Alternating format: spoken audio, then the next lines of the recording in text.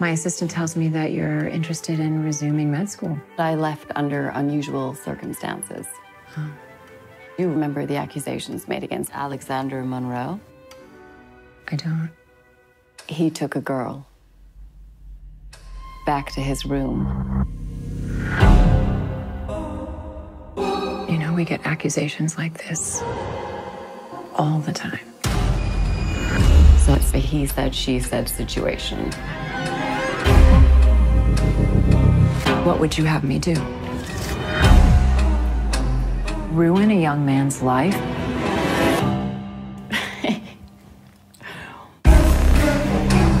Was it reported? Yes. Do you know who she spoke to? You.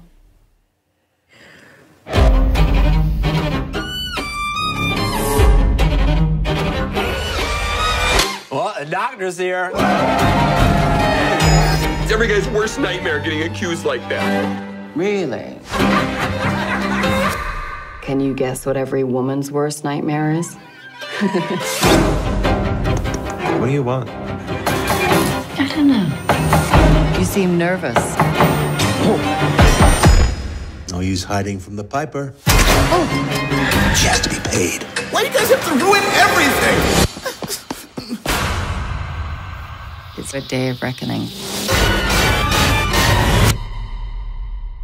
For everyone.